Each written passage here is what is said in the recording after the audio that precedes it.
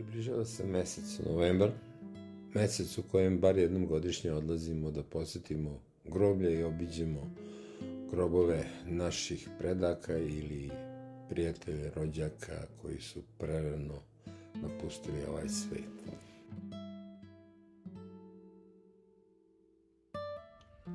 Sa nama u obilazak subotičkih groblja koje održava javno komunalno preduzeće Pogrebno je Alen Takač koji je koordinator radova u preduzeću pa da čujemo šta su oni uradili, u stvari šta rade na pripremama za ove praznike.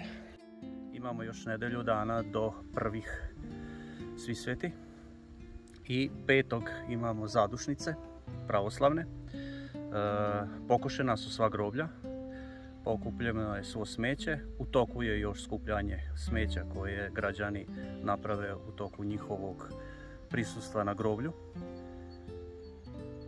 I nadalje ćemo isto da skupljamo smeće dok god ljudi dolaze i čiste svoje grobove. E,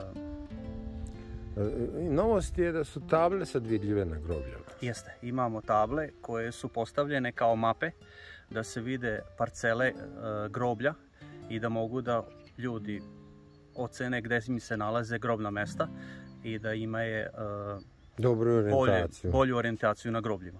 Znači što na Senčanskom je tamo ima i više ulaza, tako da sad maltene na svakom ulazu Jeste, na svakom ulazu, u Senčanskom, Bajskom i Ukerskom, na svim ulazima postavljene su te mape koje mogu da građani vide gdje se nalaze i da vide svoje grobove. Da, također koliko sam primijetio stavljene su i putokazi kako se stiže do Jeste.